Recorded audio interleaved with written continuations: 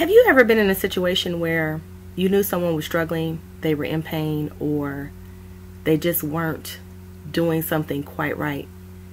You liked them, you may even love them, but you didn't know what to say. Or maybe you had said something in the past and you chose not to say anything again because they didn't respond very well. Well, those very same people are the people who need your input. We don't know what we don't know.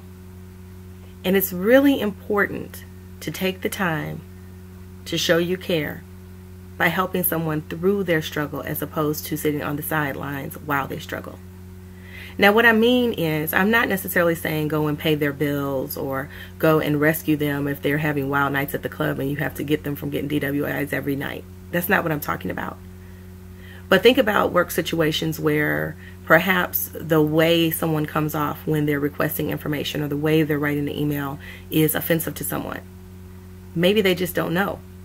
A lot of times we assume people don't care, but that's not necessarily true. Think about in the home environment.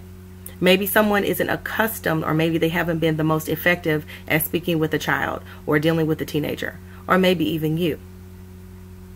If you really care about that person, care about them enough to think about what you could say and how you could say it and what you could do to at least steer them in the right direction.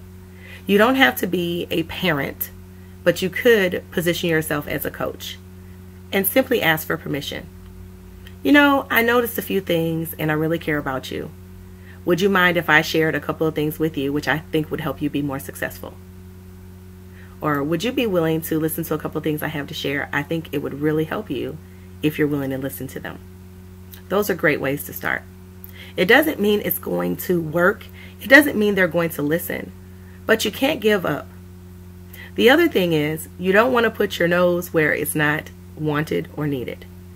So there are times when you must simply sit back and be silent and be proactive where you can, but not necessarily get involved when you see people doing things, especially repeated behavior.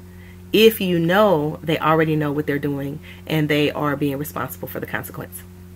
I'm Jo Lena Johnson. I hope this has been helpful to you. Thank you so much and have an absolute good day.